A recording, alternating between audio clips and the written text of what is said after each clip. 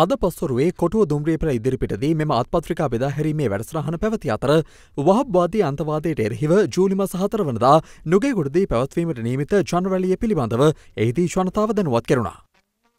මූලික වශයෙන්ම මේ වහබි අන්තවාදය පරාජයට පත් කිරීම සඳහා බලය සිටින පාලකයන්ට බල කරන්න බලයට එන පාලකයන් වේ සඳහා යොමු කරන්න තමයි මේ වහබි අන්තවාදයට එරෙහි ජනතා ව්‍යාපාරය නිර්මාණය වුණේ. ඒකේ පළවෙනි මහා රැළිය ජූලි මාසයේ 4 වෙනිදා නුගේගොඩ පැවැත්වෙනවා. ඔබ මේ වහබි අන්තවාදයට එරෙහි නම් මේ රටට ආදරය කරන මිනිහෙක් නම් ජූලි මාසයේ 4 වෙනිදා හවස 3 වෙනකොට නුගේගොඩ නගරයට එන්න වහප්වාදයේ අන්තවාදයට එරෙහිව මේ රටේ මිනිසුන් පෙන්වන්නට අවශ්‍යයි සියල්ලෝ ශ්‍රී ලාංකිකයි වගේම මේක සිංහල බෞද්ධ රටක් 170ක් මේ රටේ සිංහල බෞද්ධයෝ ඉන්නවා කියන එක අපි ආරාධනා කරනවා මුස්ලිම් වහබ්වාදයට විරුද්ධ නම් ඔබ ඔබ මුස්ලිම් බැතිමතෙක් නම් ඔබත් එන්න.